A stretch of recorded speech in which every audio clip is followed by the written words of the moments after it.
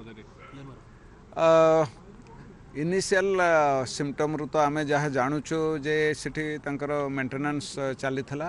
ଆ, ଏବଂ ୱେଲ୍ଡିଂ କାମ କିଛି ଚାଲିଥିଲା ସେଇ ସ୍ପାର୍କରୁ ଫାୟାର ହେଇଛି ବୋଲି ଇନିସିଆଲି ଆମେ ଅନୁମାନ କରୁଛୁ କିନ୍ତୁ ଆମେ ଗୋଟେ ଅ, ତାକୁ ବିଧିବଦ୍ଧ ଭାବରେ ପୁଣି ତାକୁ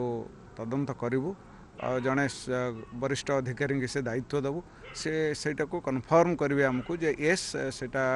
ମେଣ୍ଟେନାନ୍ସ ସମୟରେ ହେଇଛି ବା ଅନ୍ୟ କିଛି କାରଣ ରହିଛି ସେଇଟା ପଦାକୁ ଆସିଯିବ। ଅନୁମତି ତ ଲାଇସେନ୍ସ ତ ତା'ର ଫାୟାର ସେଫ୍ଟି ଲାଇସେନ୍ସ ତାଙ୍କର ନଥିଲା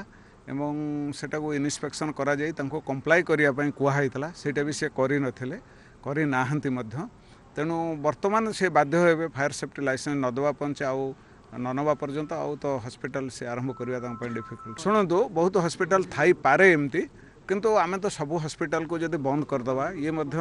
ଆପଣଙ୍କର ପା- ଯଦି କାର୍ଯ୍ୟାନୁଷ୍ଠାନ ନେଇକି ବନ୍ଦ କରିଦିଆଯିବ ସବୁ ହସ୍ପିଟାଲ ତାହେଲେ ଆର ଗୋଟେ ସୁଦୂର ପ୍ରସାର କ୍ଷତି ହେବ ଲୋକ ଲୋକମାନେ ଟ୍ରିଟମେଣ୍ଟ ହେଇପାରିବେନି ଏ କୋଭିଡ଼ ସମୟରେ ହଇରାଣ ହେଇଯିବେ ତ ସେଥିପାଇଁ ଆମେ ଡିଜି ଆମର ଡିଜି ସାହେବ ଗୋଟେ କହିଲେ ସତ୍ୟଜିତ ମହାନ୍ତି ସାର୍ ଗୋଟେ ବଢ଼ିଆ ଜିନିଷ କହିଛନ୍ତି। ସେ କହିଲେ ଯେ ଆମେ ତ ହଣ୍ଡ୍ରେଡ଼ ପରସେଣ୍ଟ